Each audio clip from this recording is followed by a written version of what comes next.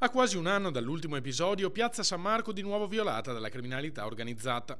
Risale al 17 marzo del 2017, il precedente più clamoroso, almeno in tempi recenti, di banditi che hanno preso di mira l'area più preziosa e delicata di Venezia.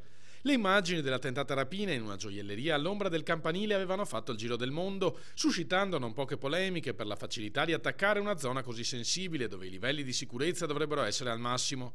La pronta reazione del personale del negozio e di un turista che dall'esterno si era accorto di quanto stava avvenendo e aveva allertato le forze dell'ordine impedì al comando di professionisti di impadronirsi del bottino. Per coprirsi la fuga i banditi avevano azionato dei fumogeni scatenando il panico tra la nutrita folla di turisti presente in piazza. A distanza di dieci mesi quella vicenda non è ancora conclusa.